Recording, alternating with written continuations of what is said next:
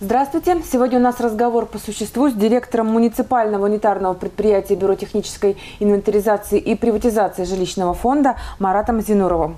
Марат Зарифович, здравствуйте. Здравствуйте. С 92 года у нас а, была а, открыта приватизация, э, передача в собственность а, жилья в городе Чебоксары, вообще по всей России. Да? Да. И вот сейчас говорят, что с 1 марта 2013 года бесплатное оформление, бесплатная передача жилья в собственности гражданам заканчивается. Что это значит?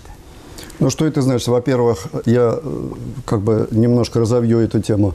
С 92 -го года, как идет приватизация, ну, в частности, по городу Чебоксары, угу. на сегодняшний день уже приватизировано более 112 тысяч квартир. Угу. Но это примерно составляет 90%, э, даже угу. чуть больше.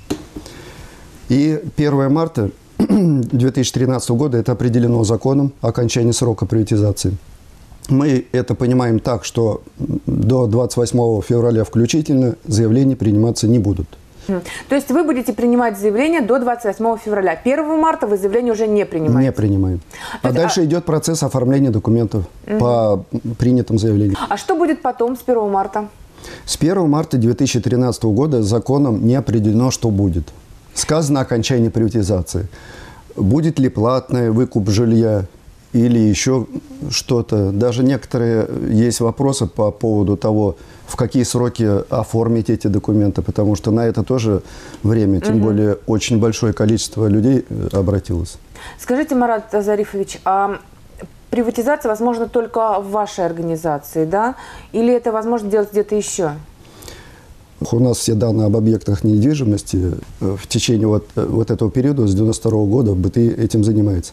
Почему нельзя э, как бы через портал госуслуг делать угу. так, такие вещи?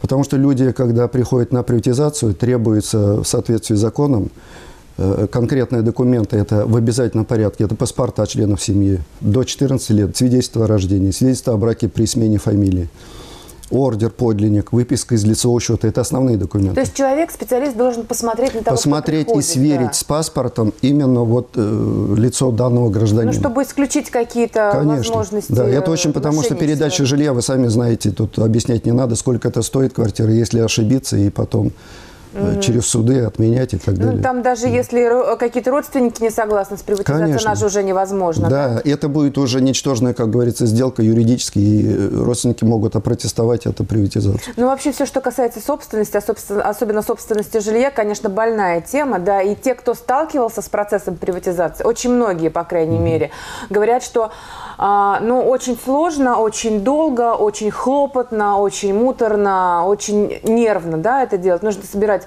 много справок, отстоять очередь в управляющей компании, прийти к вам, отстоять очередь у вас, подать документы, документы неправильные, пойти опять переоформлять, документы действуют всего лишь месяц. Вот почему так люди относятся? Но я объясню, как бы, суть дела. Я сразу не, не начну оправдываться, как бы.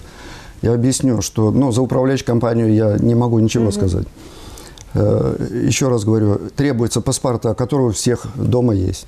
Требуется ордер, который есть у всех. Единственное, где-то надо, необходимо получить, это выписку из лицевого счета. Раньше ее в МОПе и ЖКХ получили, сейчас в ТСЖ или угу. где-то. Там, где вы платите за коммунальные услуги, в этой бухгалтерии, и вам дают выписку из лицевого счета. То есть там указывается, кто прописан в этой квартире. Угу. Все. А к нам приходит, почему у нас очереди? Я прямо скажу, вот как только продлили приватизацию в 2010 году, да, и вот э, люди вот за этот период, ну, я откровенно скажу, ну, за, день, может, 5-10 квартир, так вот, приходили заявления приватизировать, буквально вот до осени, до, даже до декабря.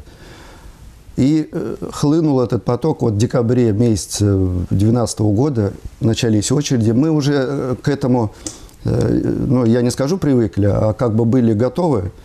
К, к потоку этому. Потому что в 2009 году, тоже перед окончанием приватизации, тогда было принято заявление почти две с половиной тысячи за декабрь месяц.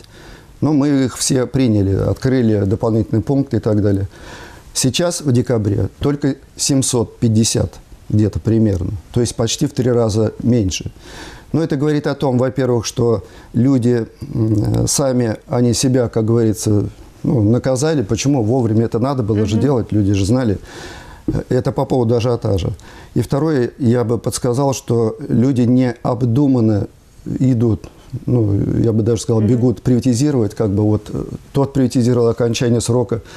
То есть вы Ведь- считаете, что не, со- не обязательно приватизировать жилье? Да, я, я опять же говорю, я не агитирую не за приватизацию и не отговариваю от приватизации. Просто люди должны подумать. Э, В семьях разные, вы знаете, бывают вещи, э, женился, развелся, дети появились, несовершеннолетний приватизировал, а потом, возможно, он э, женится, а вот эта вот доля его будет мешать получить субсидию семейную. Потом при разводе начнется дележ, суды, пересуды. То есть не то, что в будущее надо смотреть, люди никто не знает, что, что может Не, ну, быть, но продумать надо. Видимо, в народе просто сильна та традиция, что нужно Да. оставить в собственность своим детям квартиру. Ну, конечно, это естественно. И по поводу налогов. Сейчас налоги будут... э, э, Ну, приватизированная квартира, она уже облагается налогом. И налог вырастет, я так понимаю. Ну, я, насколько знаю, пока еще нет закона, но насколько собирается повысить, да. Марат Зарифович, я так понимаю, что после 1 марта ни продать, ни купить, ни подарить квартиру бесплатно уже будет нельзя. Ну, я считаю, э, что это, ну, это мое личное мнение. Это, конечно, ущемление прав людей. Люди, которые вот сейчас, может быть, дети, они вырастают. Почему они лишаются возможности затем приватизировать жилье?